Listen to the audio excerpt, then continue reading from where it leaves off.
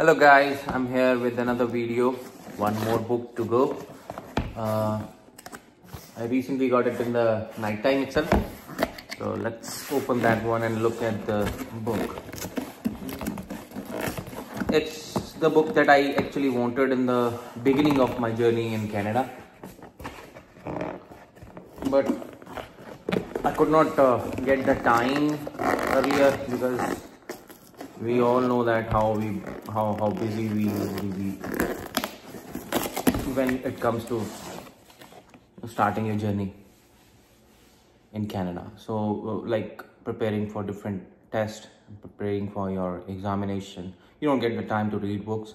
But one thing that really touched me, really liked, um, that was the library. Library is available to you at your doorstep itself like whatever book you want to get from the public library you can get. Even in my college there was no big library but uh, here um, in canada or in winnipeg what i say because i have been in winnipeg itself. So in winnipeg there are lots of public libraries. You can get as many books as possible but you don't have time that much to actually read them. But still uh, whatsoever liking you have for the books and the kind of genres uh, you can get it. But the book that i actually wanted at that time also it used to be in the list itself. Uh, but you you have to wait. Like whenever you want to get that book you have to wait.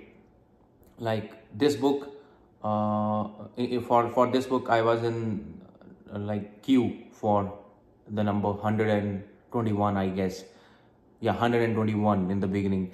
But now like i intended to actually buy it. So i just got it recently.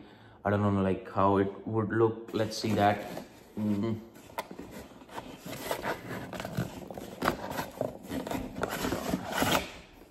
yeah. That's the one. I read it um, but through the public library earlier now it would be with me then i am going to actually get, get the maximum benefit of that too. Okay. So thank you for watching my youtube channel and please subscribe like and share my videos uh, because i'm gonna bring lots of stuff uh, for you. Not only the kind of vlogs but also uh, some educational videos too. Thank you. Thank you very much for watching